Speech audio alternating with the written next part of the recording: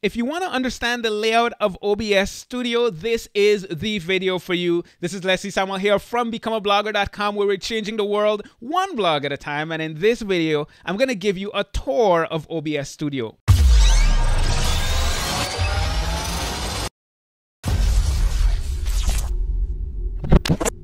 Now, the best way I know how to do that is by literally getting inside OBS Studio. And I, I guess I'm literally inside OBS Studio right now. I know that was kind of corny. Forgive me. Anyhow, where you're seeing me, this is the preview section.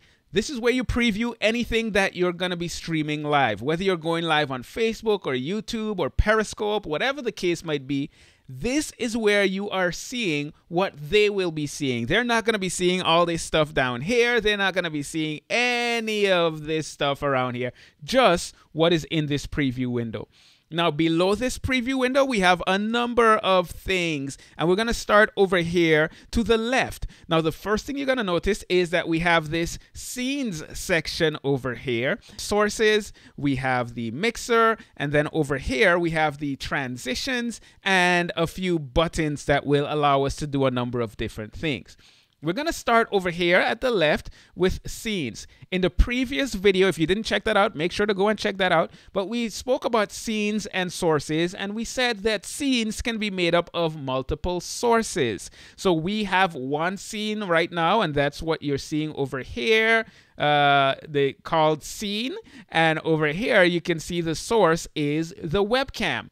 Now in the scene section, you, let's come down here. You can see that we can add a new scene, we can remove a scene, and we can move them up or down. So we can kind of change the order that those scenes are displayed. And then when you come over here to the sources, it's the same thing. We have one that I've already created, which is the webcam. But we can add a new source, we can remove a source, we can move it up and down. But there's this additional little gear icon, and that gear icon will take you to the properties for all of those individual sources. So once again, we have our scenes and we have our sources, and the scenes are made up of multiple sources. And then over here, we have our mixer section. Now, what do you think about when you hear mixer? When I think about a mixer, I think about, you know, you're in a recording studio and they have these mixers with these sliders and all that good stuff where you control your audio. That's exactly what we're dealing with right here. The mixer allows you to control the audio settings for the devices that you add or the sources that you add. Now, the next thing you're going to see over here is your transition. So when I come here to the transitions, I can set whether I want it to cut from scene to scene or whether I want it to fade slowly or fade relatively quickly or number of different options that I have here. That's where I set how it transitions from one scene to the next. And then over here, we have a number of buttons. Now, some of them are pretty self-explanatory. For example, you have start streaming, whether it's to Facebook or to YouTube or some other platform.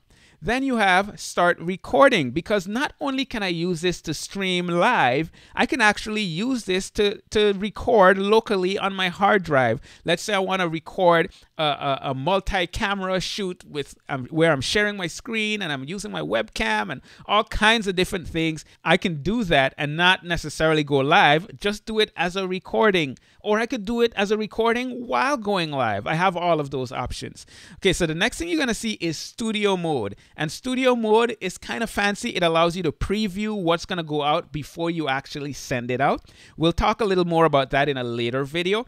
And then we have the settings. The settings is where I'm going to set a bunch of different aspects of this software.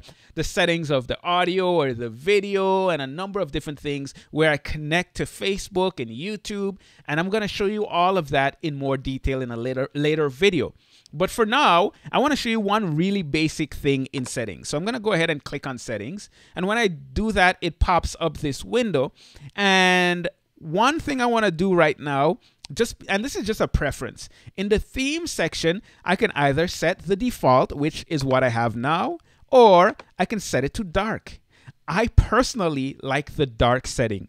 And I like it because I'm used to programs like ScreenFlow and Adobe Premiere and they're all dark. So this just make me feel makes me feel kind of at home. All right, so that is the settings section. And then lastly, there's the exit button. And you know what that does. You exit out of the software. So that's a basic tour of OBS. In the next video, we're gonna go in detail into the settings of OBS so that you can see all of the options that are available and know how to customize it to your needs. So this is Leslie Samuel here from becomeablogger.com where we're changing the world one blog at a time. And until next time, take care and God bless. Oh, hey, really quick, before you leave, if you want to get access to my free OBS guide that will teach you everything you need to know about OBS Studio, you could do it in one of two ways. Number one, if you're in the US, just text the word OBS guide as one word to 44222. You can just take out your phone and do that. It's really simple.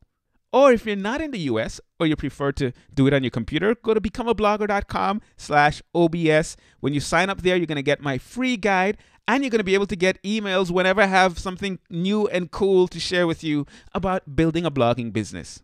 I think that's pretty awesome. Oh, and of course, this is YouTube. You can subscribe. Go ahead. You know you want to. And of course, there's another video. Just click it. I'll be there waiting. Go ahead.